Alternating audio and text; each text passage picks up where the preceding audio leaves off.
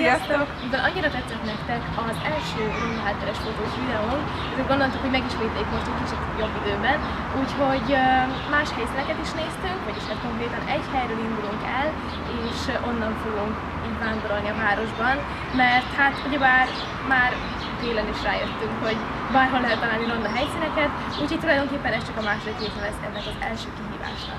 Ezen kívül, ahogyan a múltkor is, most is mindent, ami rajtunk található, illetve a technikai infókat, azokat megtaláljátok szokás szerint a leírásban. Köszönjük! És köszönjük szépen kedves segítőnek, Hédinek, aki a kamerát tartja, hogy elkísér minket és segít nekünk felvenni ezeket a jeleneteket. Igen, Igen. úgyhogy induljunk is.